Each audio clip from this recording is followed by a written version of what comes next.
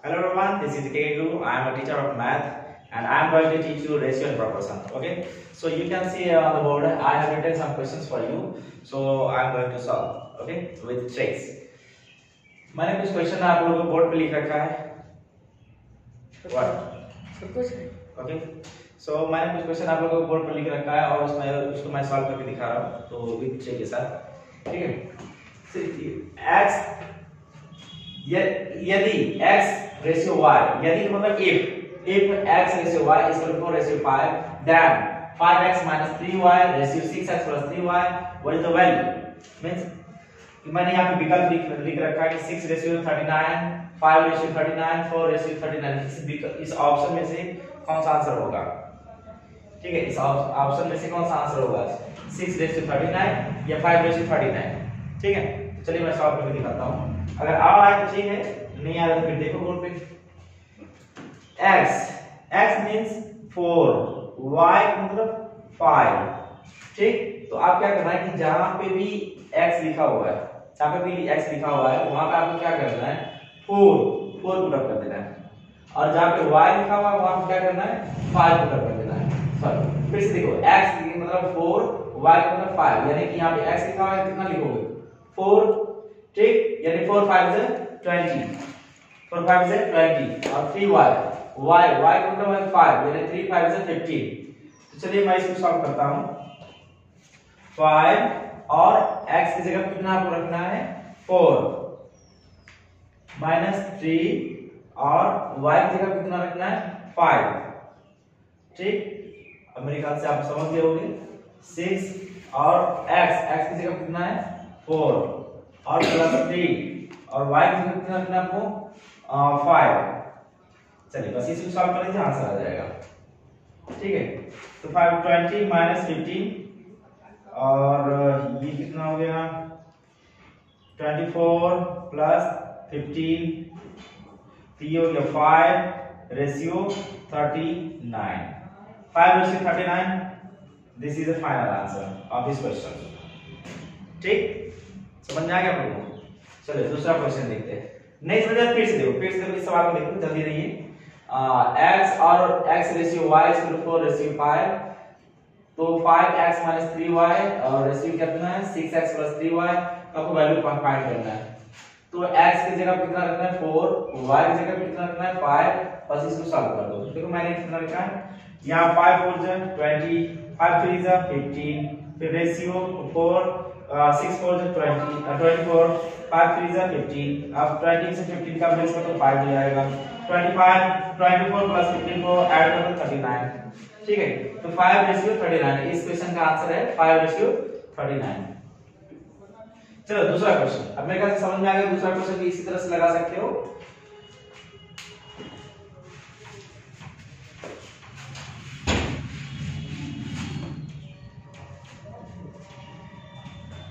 ठीक है? अब ए ए की जगह क्या करना है आपको? सिक्स रखना है बी की जगह पे फाइव ठीक? ए यानी कि फाइव और ए की जगह कितना है? सिक्स प्लस थ्री बी की जगह कितना है? फाइव ठीक? रेशियो फाइव ए की जगह कितना रखना है? सिक्स माइनस थ्री बी की जगह कितना रखना है? फाइव बी की जगह पे फाइव ठीक है? तो ये हो जाएगा थर्टी प्लस फिफ्टीन और ये कितना हो गया थर्टी माइनस फिफ्टीन कितना हो गया ये? फोर्टी फाइव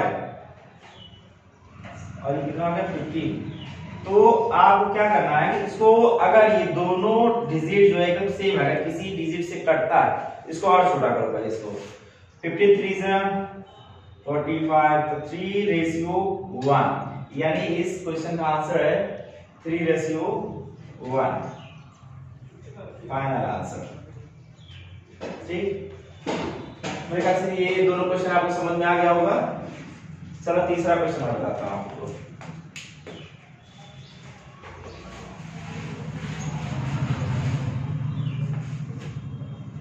तीसरा क्वेश्चन क्या है? P.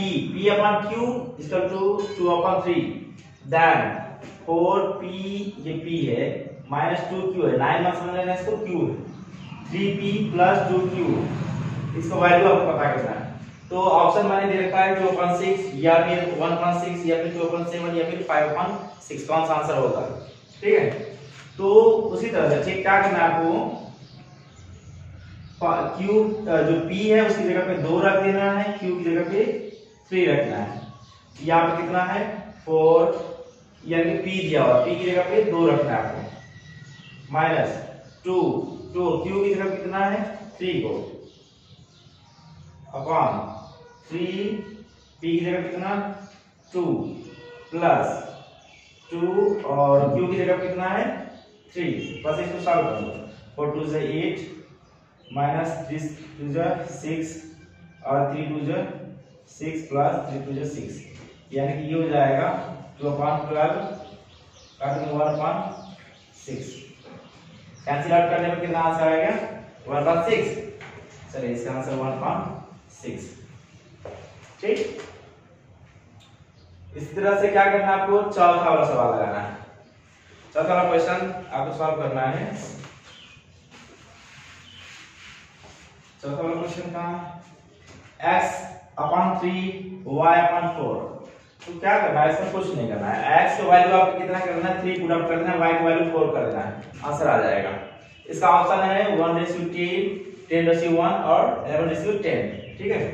तो देखो, x की जगह कितना थ्री रखना है? यानी कि टू और हमने कहा कि x की जगह कितना? थ्री को रिप्लेस करना है।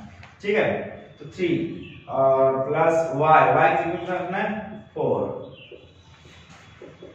थ्री यस यस की जगह कितना? थ्री माइनस टू टू की जगह कितना है? वाई सॉरी वाई की जगह कितना रखना है? फोर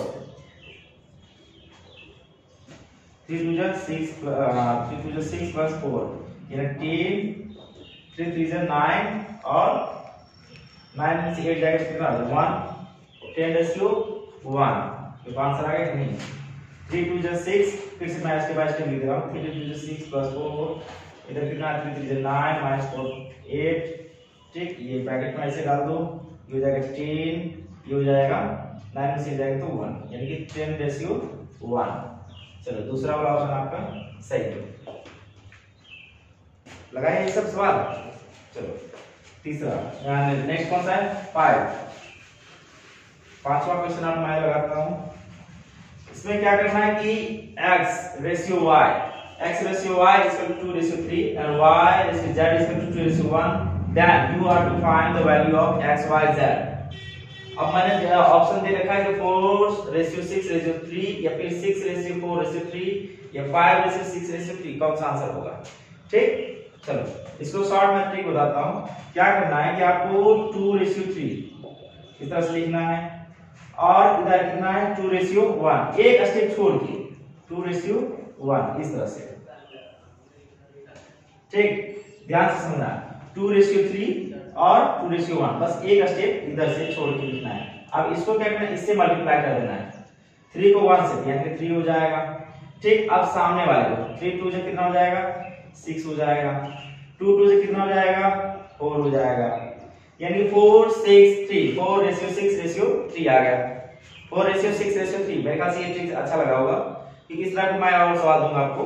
आ, तो इसको पहले देख लो जरा कि four ratio six ratio three अगर ये किसी एक डिजिट से तीनों डिजिट अगर ये कट जाए कैंसिल आउट हो जाए तो इसको एक बार काटने काटने की कोशिश करेंगे। अगर नहीं कर रहा है तो छोड़ देना। जैसे कि फोर है सिक्स है टू से कर सकता है थ्री नहीं कर सकता है तो अगर हम थ्री लेते हैं तो ये दोनों कटेगा, ये ये नहीं कर पाएगा कैंसिल आउट नहीं पाएगा, इसलिए आप इसको छोड़ दो।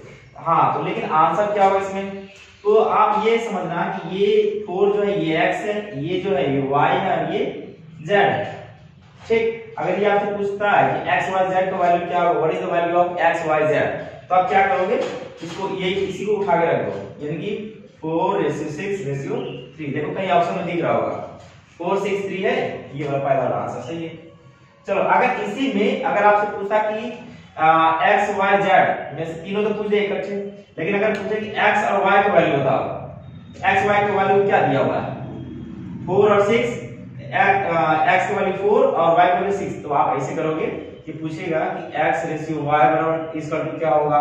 तो आप क्या करोगे? फोर और सिक्स फोर रेशियो सिक्स अगर ये दोनों किसी से एक डिजिट से कट रहा है तो इसको काट दो। टू और थ्री ये आंसर हो जाएगा। फिर से देखो, अगर तुमसे पूछे कि एक्स जेड का वैल्यू बताओ एक्स और जेड का वैल्यू क्या होगा? What is the value of X Z तो अब क्या करोगे? एक्स और जेड कितना एक्स कितना है? फोर है। जेड कितना है? थ्री है। ये आंसर हो गया। ठीक है? तो मेरे ख्याल से आपको समझ में आया मैं और कुछ क्वेश्चन आपको देता ठीक है?